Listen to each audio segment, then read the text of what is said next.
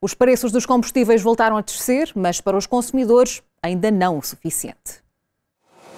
A semana arranca com uma nova quebra no preço dos combustíveis. É a sétima descida consecutiva no litro da gasolina e a quarta no gasóleo. Apesar dos valores estarem já abaixo dos 2 euros por litro, para os automobilistas continuaram a ser um preço acessível. Tendo em conta os rendimentos que as pessoas ganham, ainda não é adequado. Mas é bom saber que desceu. O governo devia baixar mais os preços. Mediante o que existe na Europa, acho que sim. Uh, os preços estão a subir exorbitantemente há sempre uma desculpa.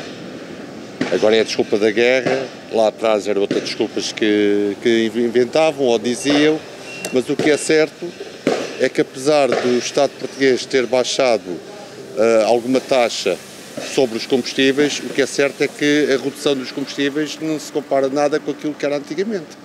E está mais que visto, quem está a ganhar realmente dinheiro com isto são as gasolineiras. Os condutores continuam a tentar arranjar estratégias para poupar, mas nem sempre é possível.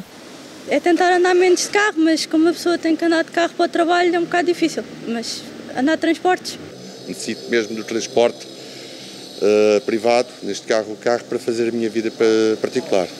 Não fiz mudança porque eu preciso de, do gasóleo para trabalhar, portanto fiz igual.